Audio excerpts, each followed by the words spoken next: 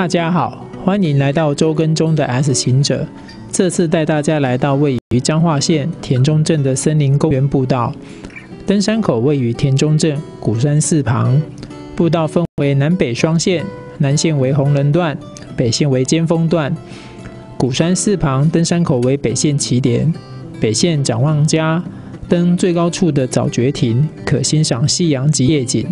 天气晴朗时，更能远望往浊水溪及台湾海峡。后过陡坡后，抵达古山尖峰，休息、健身、吹山风，随后可到南北两线岔路口。往左经茶香步道衔接松柏岭，往右则是地形较为崎岖的南线红人段。O 型返程接回森林公园停车场。森林公园步道为三山国家风景区。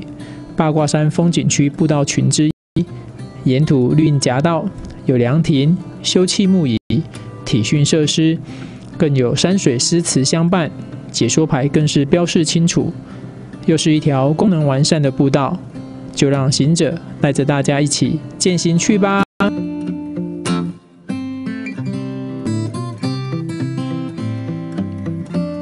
这是民众登山践行，或是。森林里最佳的一条步道，也是可能是彰化县境内算是非常艰难的步道，没有之一。好，这里就是入口，我们准备向上攀登，走上去了。刚刚看到有四台游览车要来爬这步道，目前在下面在讲解。相信这边的人潮应该会非常多。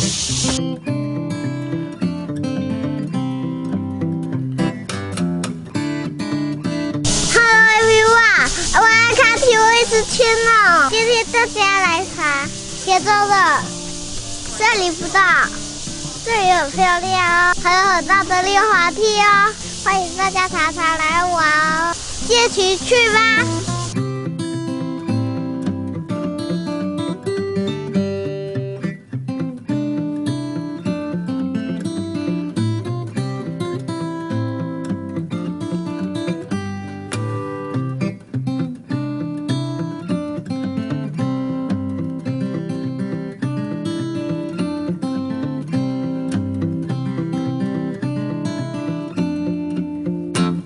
的步道也是如此，蛮多一些野生的植物跟林相的。那今天来爬这座古山步道呢，刚好遇到有从桃园地区来的国内旅游的人士，哇，四台游览车，人潮甚多。好，我们这从这边的支径呢往上走，向顶峰出发。现在时间接近十点钟了，但是因为它这边是一个森林，所以呢，整体的天气还不算太热，走起来算是有风，而且蛮凉爽的。整个环形步道走下来大概要两个多小时，所以慢慢走吧，继续努力。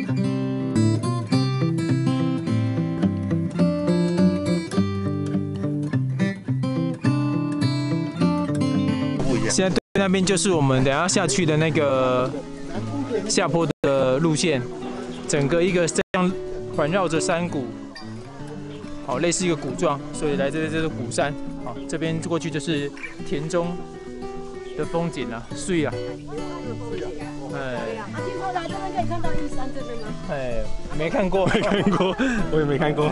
气接不上来。今天人真的蛮多的。一些大哥大姐的话在背刷啊。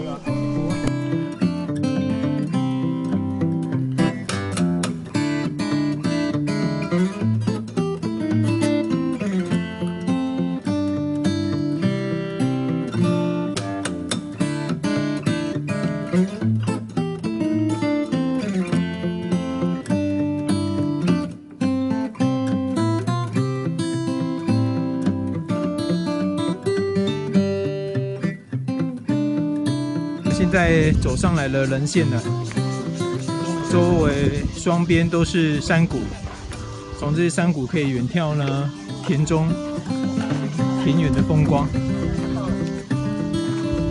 但是还没有到最高点，现在继续往前走，准备再爬一个坡上去，就可以到最高点了。到那时候我们再来看一下眺望的部分。哇，这个山风吹来也真的非常凉。接近十点半嘛，是就凉的啦。风一吹吼，背上就别添。啊那遇到风太小，或者是在森林里面走哦，太闷热，汗如雨下哦，黑就干扣啊。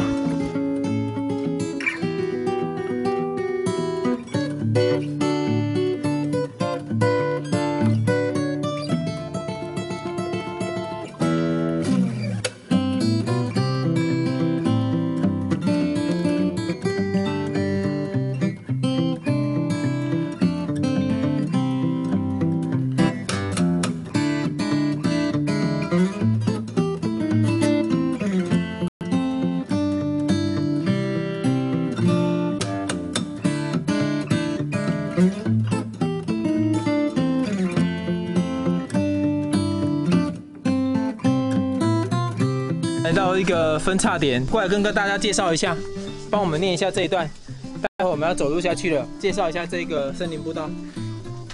田中森森林公园登山步道，保留原有林相，蝴蝶、鸟类资源丰富，全程约二点四公里。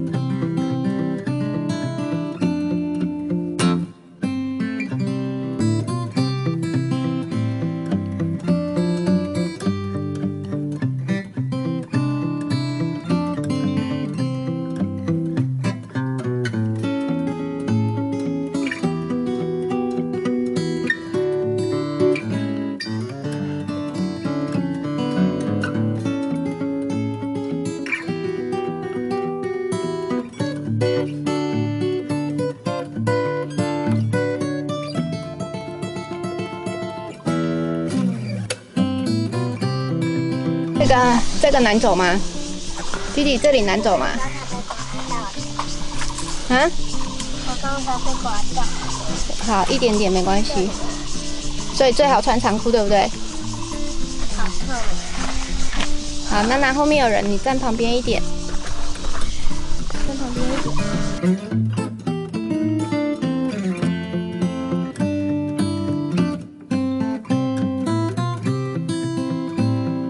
我们刚从这边走了下来哈，这里是红林段步道，这个位置就是在田中森林公园的部分。登山步道这个往返大概三公里，也就是我们俗称的古山步道，走完全程要两个小时。海拔高约三百二十五公尺，登上高处呢可眺望台中田中镇的市景。依山势而行呢，高低起伏落差大，富有挑战性的登山路线。它这边的地址呢是常态性的自然崩塌地址，是台湾特有的地理景观之一。